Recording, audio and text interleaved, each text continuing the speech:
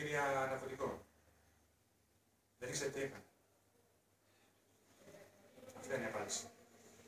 Κατά τη δική σας εκτίμηση, ήταν δύο, ο αστυνομικός μαζί το φίλο του.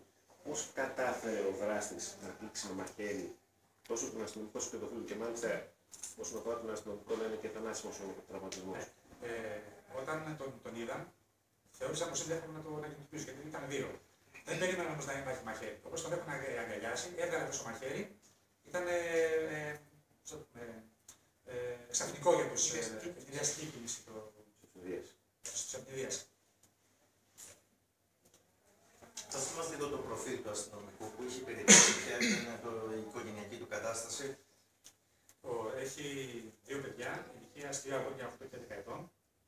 Ε, υπηρετούσε στη, στο τμήμα δίωξης ναρκωτικών πύργου από τους μάχητου αστυνομικούς. Ε, άλλωστε το έδειξε με την αυτοδυσία που επέδειξε και στη, στη συγκεκριμένη υπόθεση ότι ήταν εκτός υπηρεσίας.